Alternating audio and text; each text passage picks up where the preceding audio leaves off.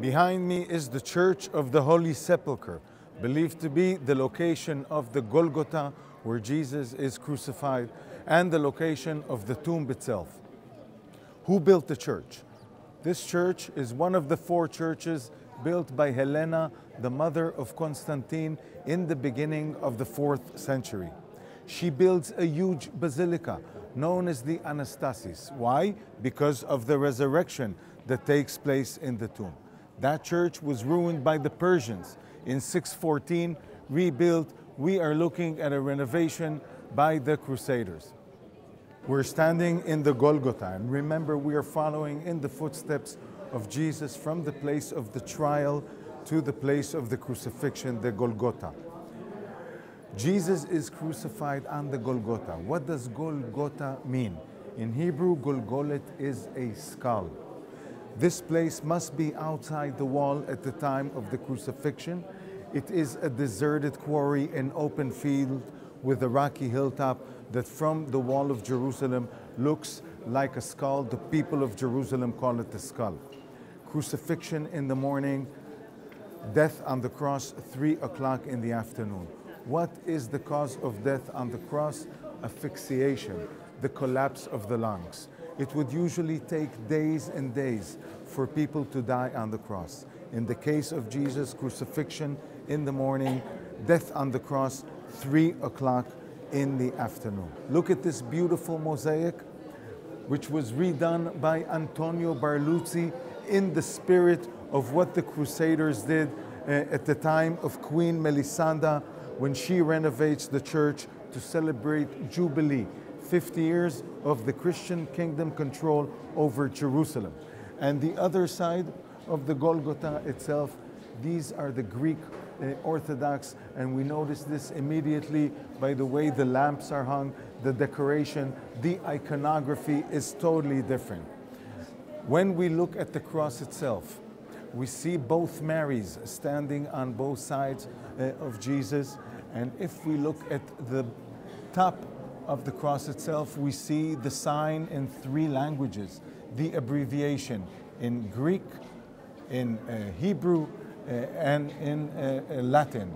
Jesus of Nazareth, King of the Jews. The people are queuing up to touch the precise location where the cross uh, stood according to the tradition here uh, in the church. What happens after Jesus dies on the cross? Let's go downstairs and find out. This modern mosaic behind me from the year 1900 tells us the story of what happens after Jesus dies on the cross.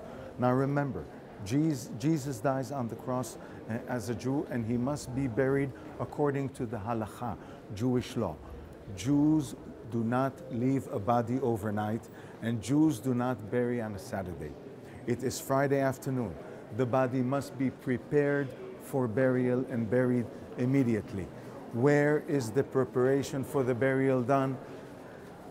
According to the tradition here in the church, it is here on what is known as the christening stone or the anointing stone.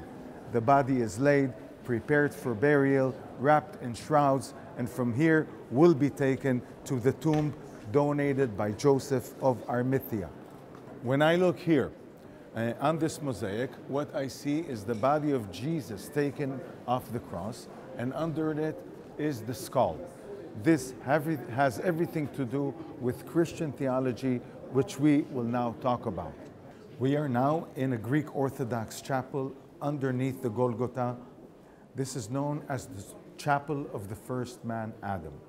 And according to the tradition in the church, this is where Adam is buried. Adam is the one who committed the original sin. And because of this original sin, we are told in Christian theology, there's death and suffering in the world.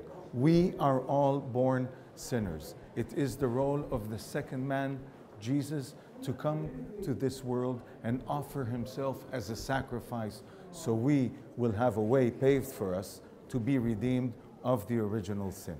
It is believed in the church that this crack on the wall of the Golgotha was caused by that earthquake that rocks Jerusalem the moment Jesus dies on the cross.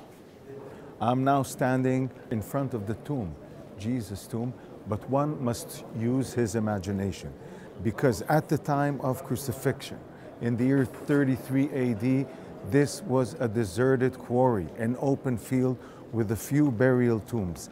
Everything we see around us has been built and destroyed and rebuilt much later.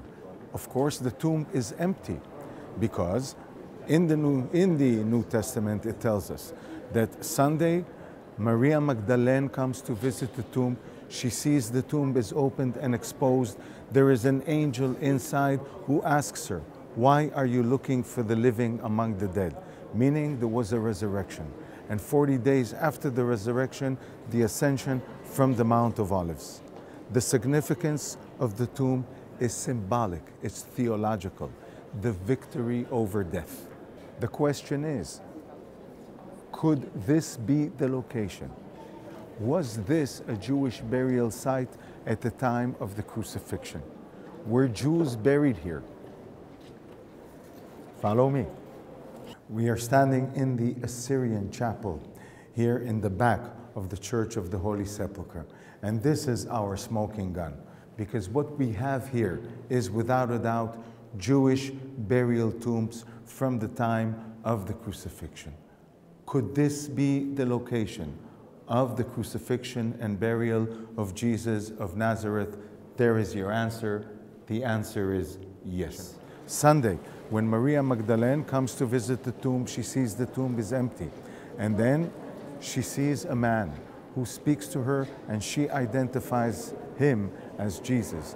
This is the first appearance of Jesus after the uh, uh, crucifixion and the resurrection.